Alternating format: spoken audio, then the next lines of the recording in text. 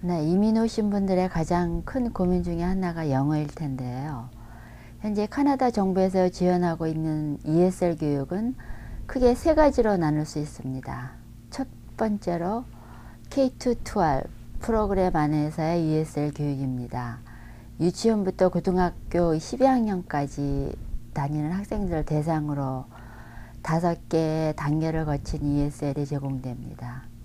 카나다 정부에서는 한 학생당 1년에 1000불이 조금 넘는 금액을 지원하고 있습니다. 그리고 이 금액은 각 교육청의 예산에 포함이 되고 있습니다.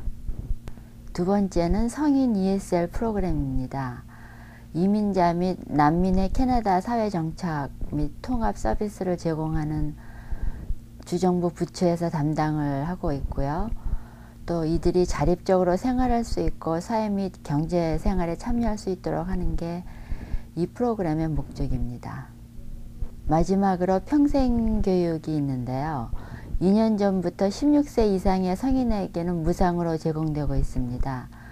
그리고 버나비 센츄럴 고등학교에서 지금 제공되고 있는 한국어 학점 인증 프로그램도 평생 교육 프로그램의 하나입니다.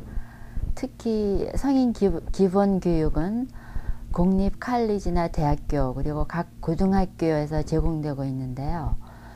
어, 너구드라고 하는 고등학교 졸업장을 딸 수 있어서 대학 진학을, 진학을 하시려는 분들에게는 많은 도움이 되고 있습니다.